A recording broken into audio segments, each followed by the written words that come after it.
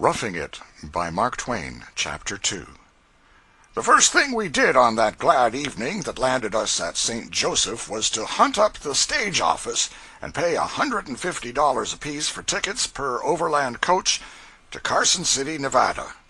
The next morning, bright and early, we took a hasty breakfast and hurried to the starting place. Then an inconvenience presented itself which we had not properly appreciated before, namely, that one cannot make a heavy traveling trunk stand for twenty five pounds of baggage, because it weighs a good deal more. But that was all we could take twenty five pounds each. So we had to snatch our trunk open and make a selection in a good deal of a hurry. We put our lawful twenty five pounds apiece all in one valise, and shipped the trunks back to St. Louis again. It was a sad parting for now we had no swallow tail coats and white kid gloves to wear at Pawnee receptions in the Rocky Mountains, and no stove pipe hats, nor patent leather boots, nor anything else necessary to make life calm and peaceful. We were reduced to a war footing.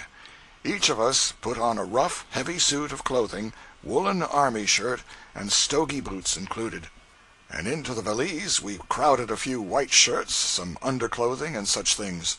My brother, the Secretary, took along about four pounds of United States statutes and six pounds of unabridged dictionary, for we did not know, poor innocents, that such things could be bought in San Francisco on one day and received in Carson City the next. I was armed to the teeth with a pitiful little Smith & Wesson seven shooter, which carried a ball like a homeopathic pill and it took the whole seven to make a dose for an adult. But I thought it was grand. It appeared to me to be a dangerous weapon. It only had one fault you could not hit anything with it. One of our conductors practiced while on a cow with it, and as long as she stood still and behaved herself she was safe. But as soon as she went to moving about and he got to shooting at other things, she came to grief. The Secretary had a small sized Colt's revolver strapped around him for protection against the Indians, and, to guard against accidents, he carried it uncapped. Mr. George Bemis was dismally formidable. George Bemis was our fellow traveler. We had never seen him before. He wore in his belt an old original Allen revolver, such as irreverent people called a pepper box. Simply drawing the trigger back cocked, and fired the pistol. As the trigger came back, the hammer would begin to rise and the barrel to turn over, and presently down would drop the hammer and away would speed the ball.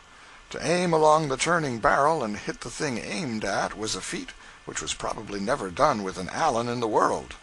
But George's was a reliable weapon, nevertheless, because, as one of the stage drivers afterward said, if she didn't get what she went after she would fetch something else. And so she did. She went after a deuce of spades nailed against a tree, once, and fetched a mule standing about thirty yards to the left of it. Bemis did not want the mule, but the owner came out with a double barreled shotgun and persuaded him to buy it, anyhow. It was a cheerful weapon, the Allen. Sometimes all its six barrels would go off at once, and then there was no safe place in all the region round about but behind it. We took two or three blankets for protection against frosty weather in the mountains. In the matter of luxuries we were modest. We took none along but some pipes and five pounds of smoking tobacco. We had two large canteens to carry water in, between stations on the plains, and we also took with us a little shot bag of silver coin for daily expenses in the way of breakfasts and dinners.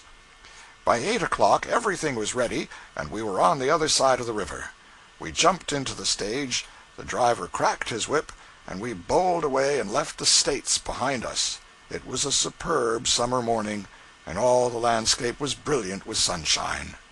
There was a freshness and breeziness, too, and an exhilarating sense of emancipation from all sorts of cares and responsibilities that almost made us feel that the years we had spent in the close, hot city, toiling and slaving, had been wasted and thrown away. We were spinning along through Kansas, and in the course of an hour and a half we were fairly abroad on the great plains.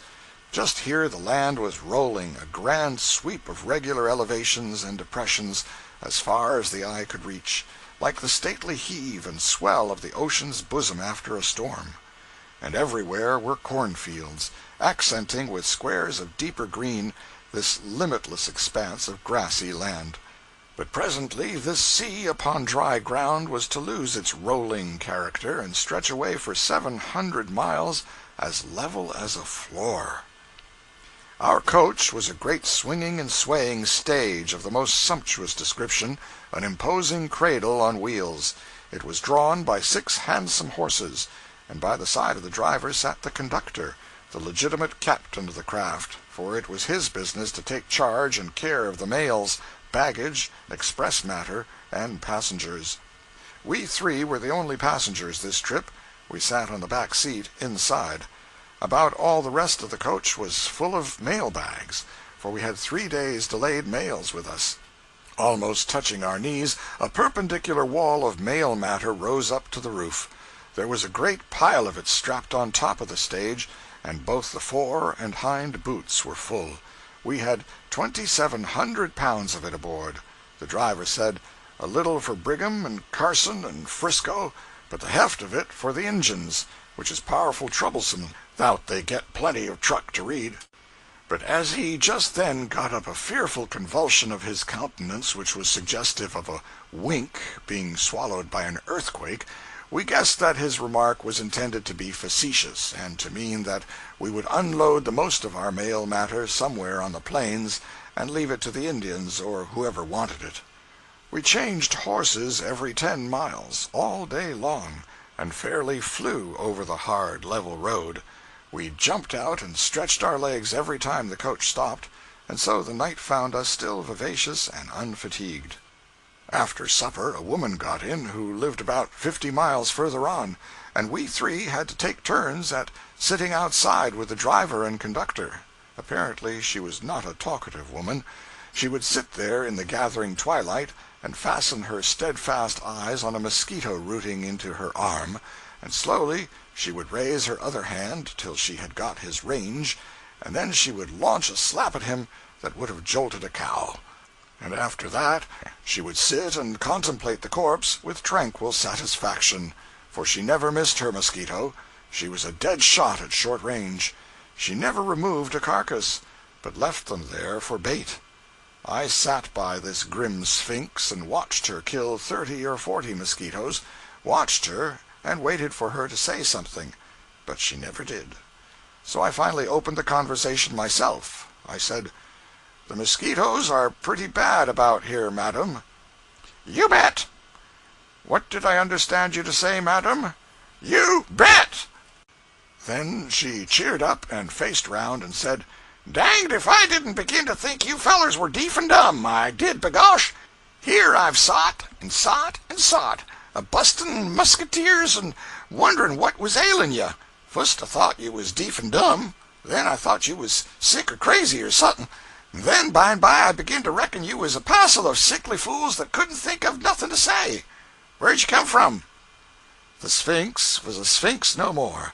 The fountains of her great deep were broken up, and she rained the nine parts of speech forty days and forty nights, metaphorically speaking and buried us under a desolating deluge of trivial gossip that left not a crag or pinnacle of rejoinder projecting above the tossing waste of dislocated grammar and decomposed pronunciation.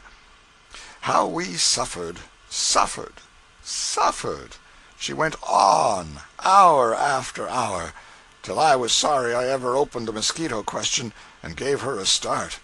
She never did stop again until she got to her journey's end toward daylight, and then she stirred us up as she was leaving the stage for we were nodding by that time and said, "Now you git out at Cottonwood, you fellers, and lay over a couple days, and I'll be along some time to night, and if I can do you any good by edgin' in the word now and then, I'm right thar.